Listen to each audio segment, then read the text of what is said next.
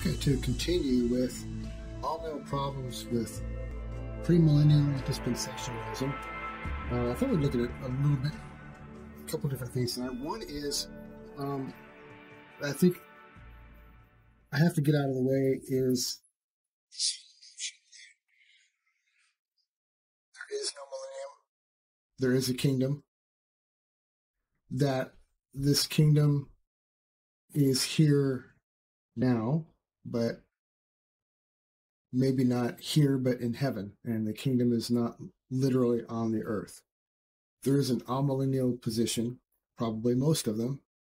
It's probably the, the main stripe down the middle that says that the kingdom is in heaven and is now.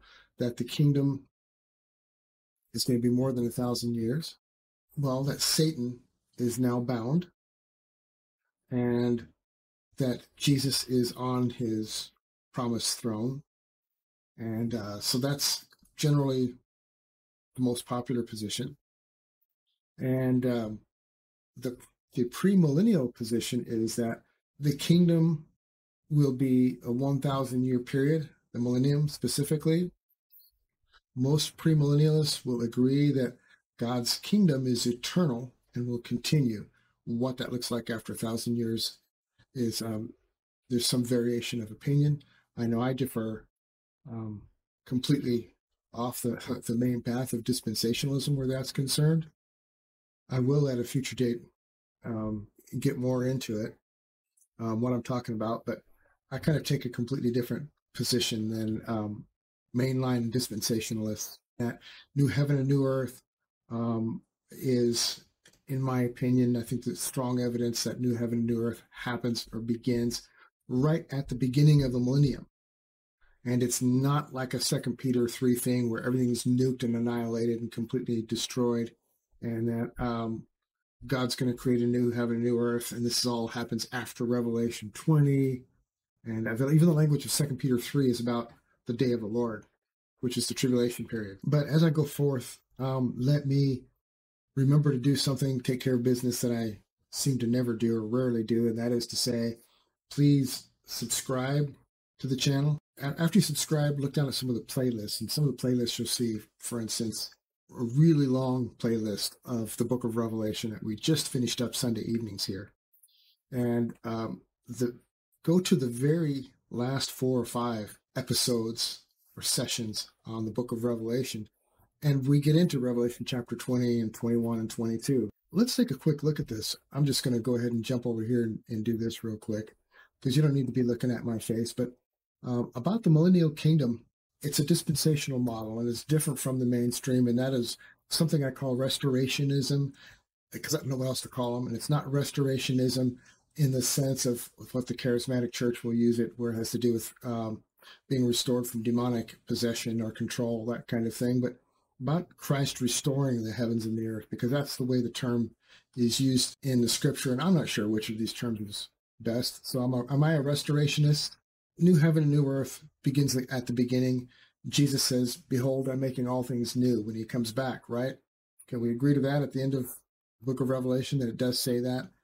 And that if the tribulation happens the way John portrays it and we take it as literally as possible there, then we have to agree that the earth is completely trashed by that point and that we would have to have a new heaven and earth before we move down the line into some thousand year kingdom, right? I think scripture supports that, but that's for another session. I just want to real quick look at um, the millennial kingdom, what the scripture says, because um, it's important to understand that kingdom that comes is here on the earth.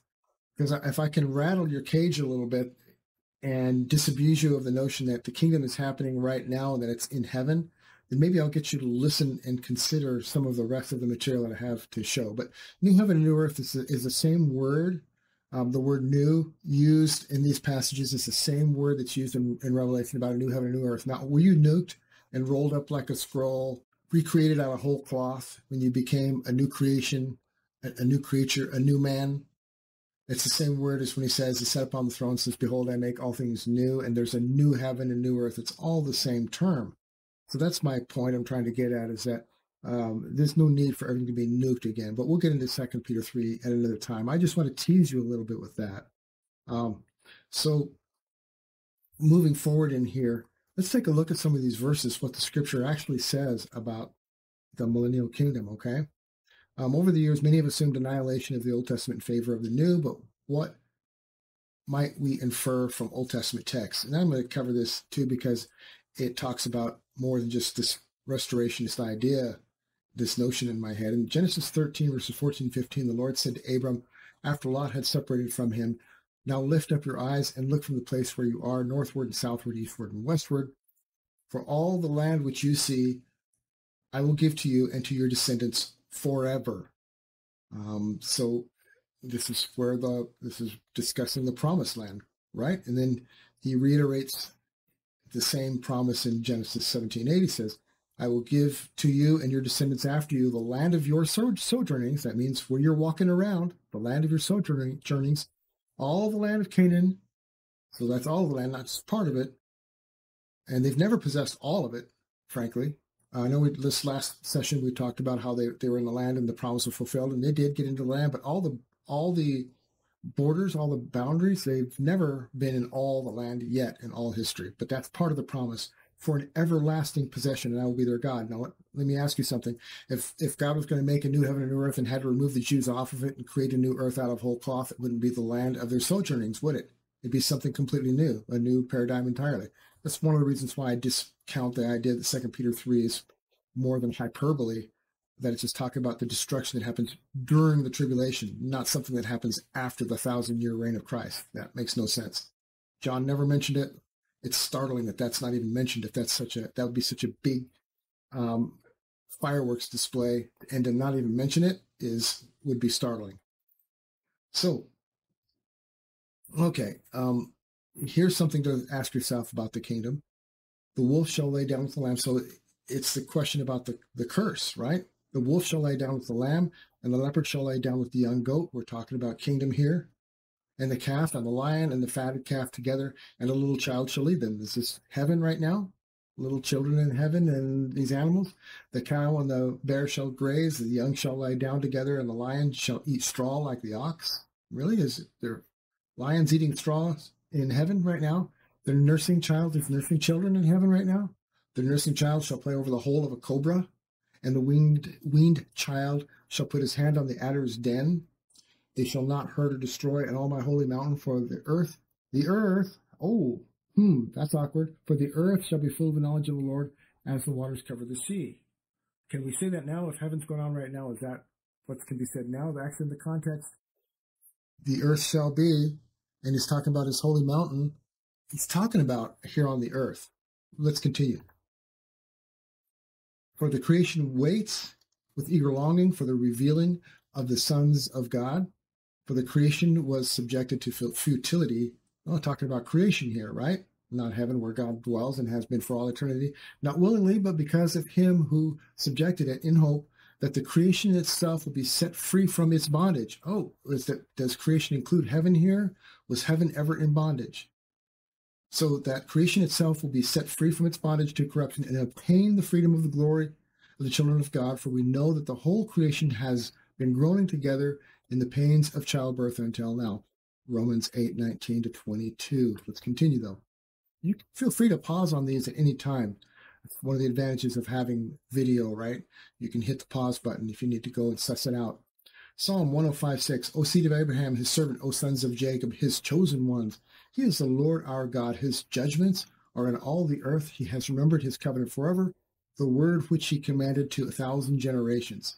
Thousand there, is that literally a thousand generations? Well, there clearly it's like he owns the cattle on a thousand hills.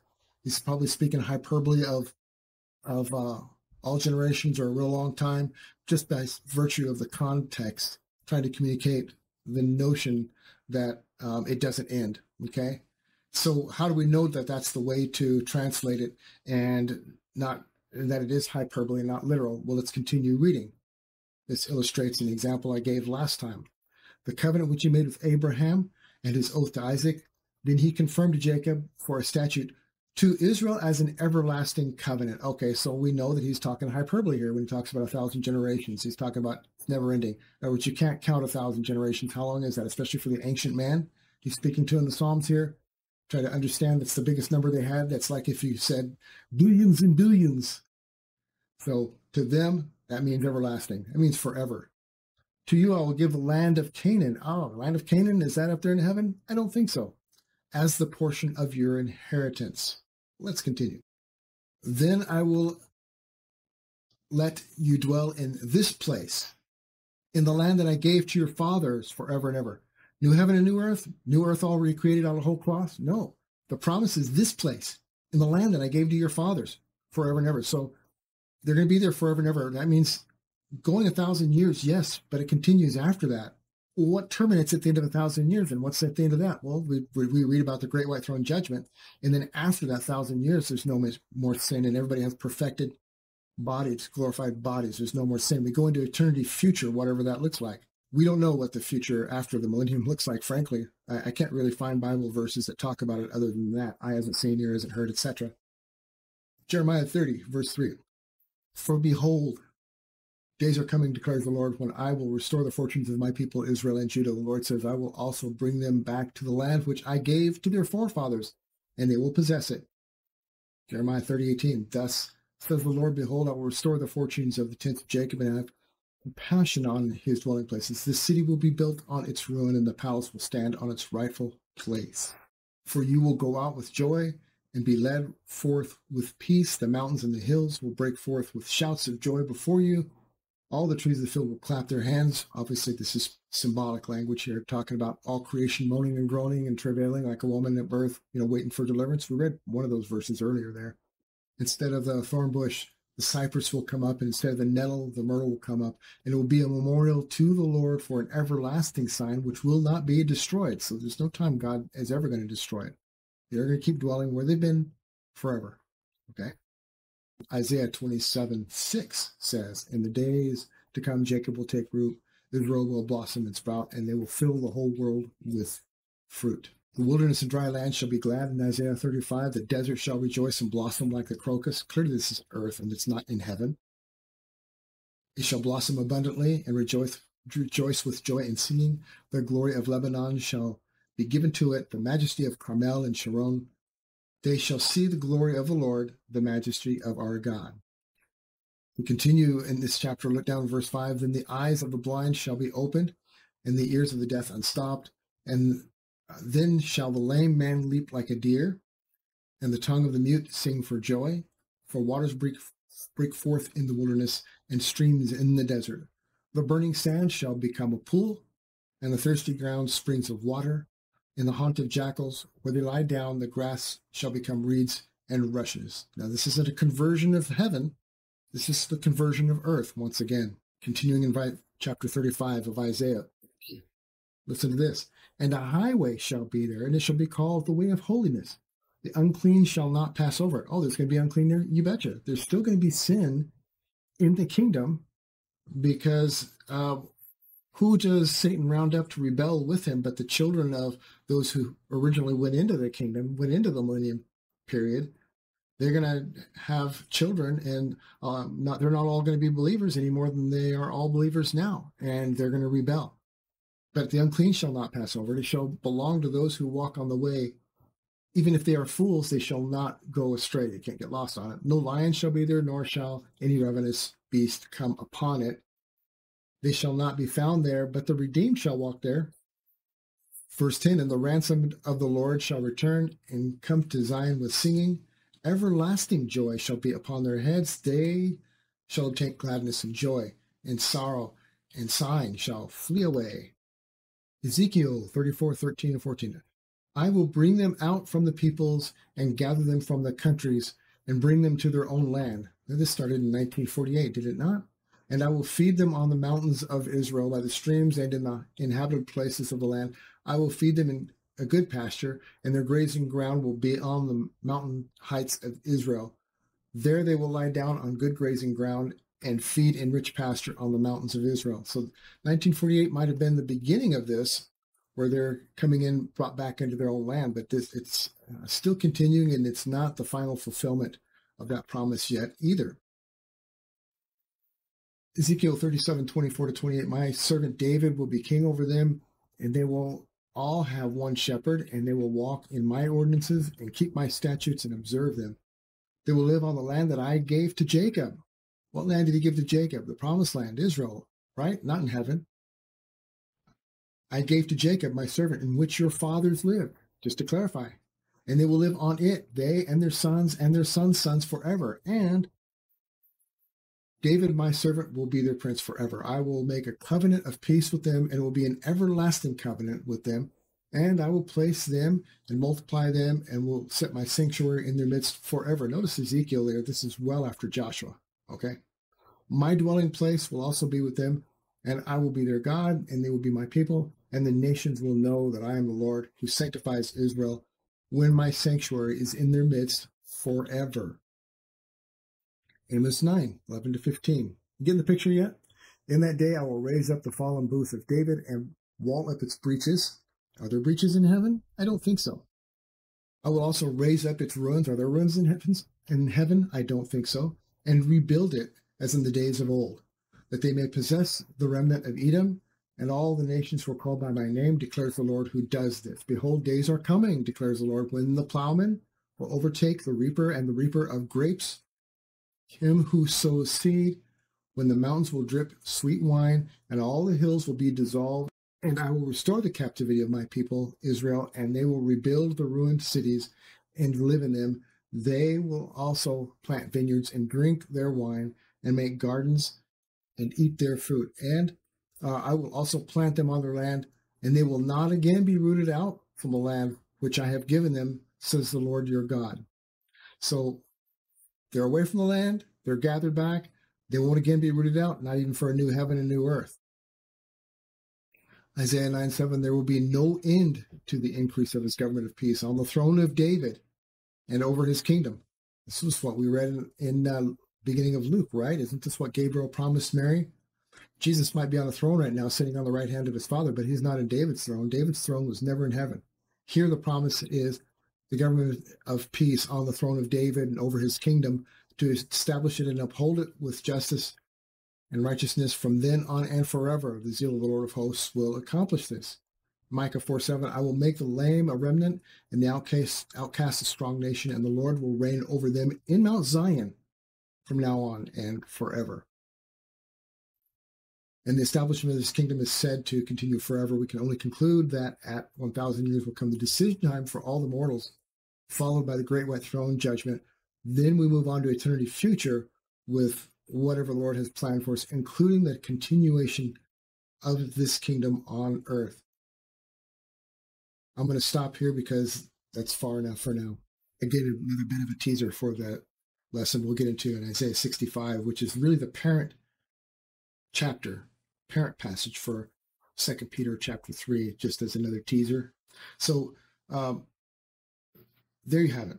Kingdoms on earth. It's going to be forever. Yes, it's going to go for a thousand years. Revelation 20 says thousand six times. Can't get around that. Sorry, folks. Bend and twist as you will, but the same folks who want to bend and twist it and make that not happen and try to make it all symbolic want you to believe that kingdom is right now in heaven. Those verses we just read, does that look like heaven to you? It'll be heaven because Christ will be dwelling with us, God with us. And wherever he dwells is heaven, but it's not up there before the throne of God happening right now. It is in your future, though, and it is forever.